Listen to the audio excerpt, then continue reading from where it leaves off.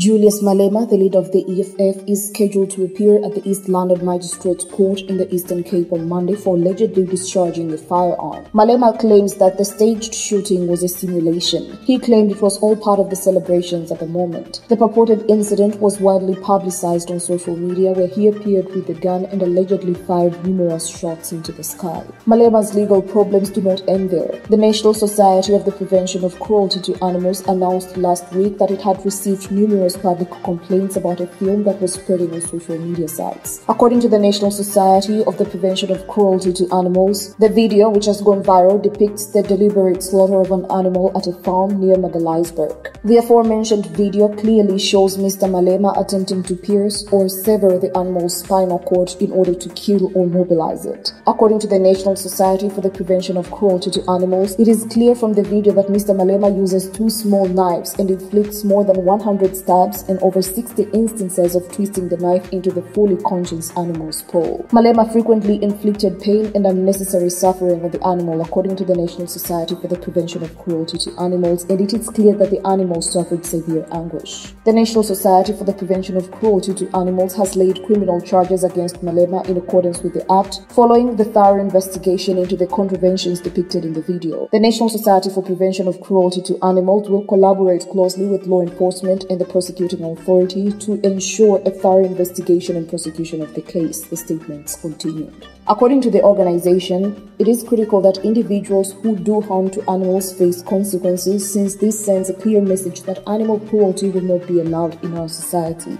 In response to the complaints, the EFF spokesperson Sinawo Thambo stated that we will deal with whatever the organization complaints arise. As of now, our whole focus is on constructing our electoral apparatus in preparation for a total win in 2024.